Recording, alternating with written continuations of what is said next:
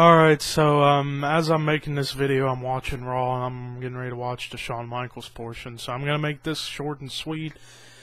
Damien Sandow cashing in Money in the Bank, losing to John Cena. I honestly don't care because Damien Sandow, in my opinion, was not ready for a world title shot or a shot at yeah shot at the title or have the Money in the Bank in general. I thought he, I think he's still a year away from that.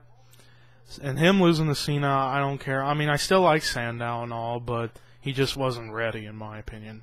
I don't know how a lot of other people are going to say uh, or give their opinions about it, but in my opinion, I think this is good. I think this is alright. I mean, Sandow's still a year away, in my opinion. But, anyways, peace.